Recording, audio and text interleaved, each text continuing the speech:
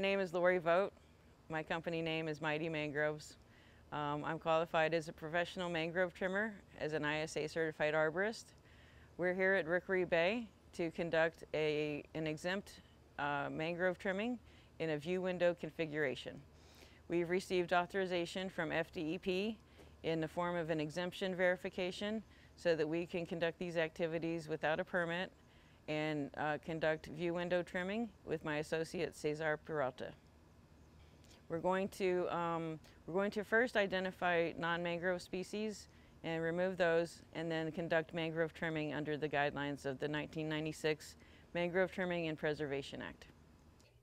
Hi, my name is Cesar Peralta. I'm the regional coordinator for the Green Industries Best Management Practices Program. This is a department of the UF IFAS uh, FFL GI-BMP department. I'm going to be working with Lori doing a demonstration on how to properly do a window cut in this area behind me. We're going to identify no mangrove species and mangrove species so we can obtain this goal. And here we have a measuring stick. It's a very important tool uh, to cut the mangroves because we have a permit to cut them between 6 and 10 feet. And we need to measure from the substrate, which is the ground, from the ground up 6 feet and uh, 10 feet on the top mark. Again, this is a very important tool that we're going to be using when we cut the mangroves. Now, when we are not cutting the non-mangrove species, we will not need to worry about the height because they can be uh, freely cut. First, we'd like to begin by removing non-mangrove species. Some of these are native, some are not. Uh, in this area in particular, they are all native because exotic removal has been maintained.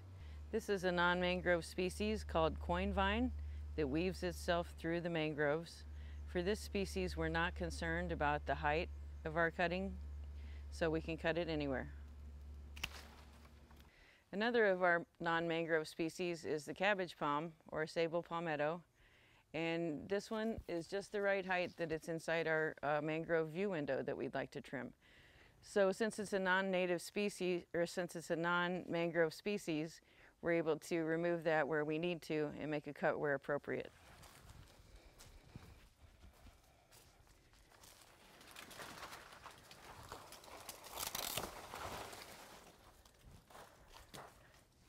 This is a green buttonwood, and the green buttonwood is not considered a mangrove in Florida. It is considered a mangrove in places such as Puerto Rico.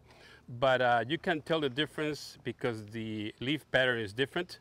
In this one, they have alternate leaves. They see how they alternate. And in the white mangrove, uh, they are opposite.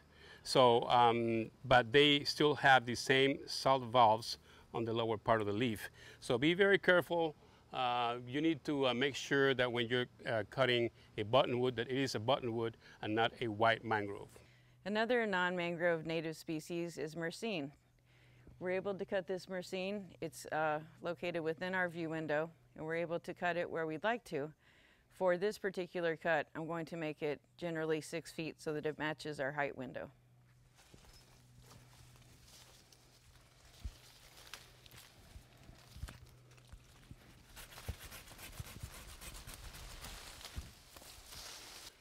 We just made a cut on this pond apple.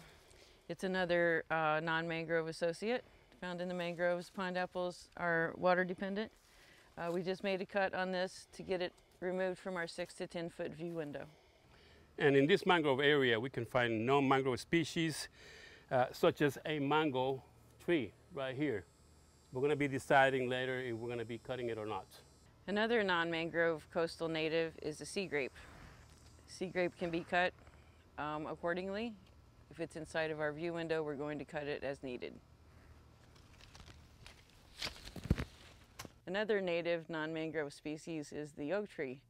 For this oak tree, there seem to be a lot of epicormic shoots coming out.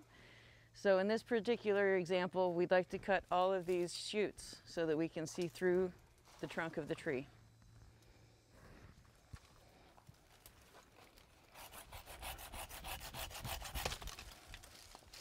We begin by removing our non-mangrove associates and eventually we'll get to our white mangrove trimming. This white mangrove here uh, will be trimmed in the six foot to 10 foot window. Now we're going to make a cut on this white mangrove.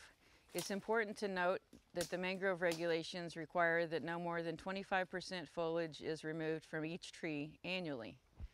So we're going to make three cuts here, right about six feet.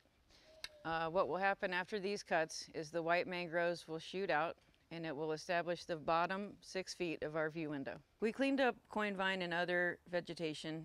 Uh, this enables the red mangroves to naturally recruit into this shoreline. They drop off of the trees in late summer and are live seed and they float in with the tides and they gradually land up on the correct elevation at which they'll grow. And a good example of this is the red mangroves that have recruited into here. This mangrove trimming project was conducted by trimming non-mangrove native vegetation and then seeing what mangroves were left and then trimming them using 25% foliage removal annually trimming. The view window was between 6 and 10 feet and we're now finished with it.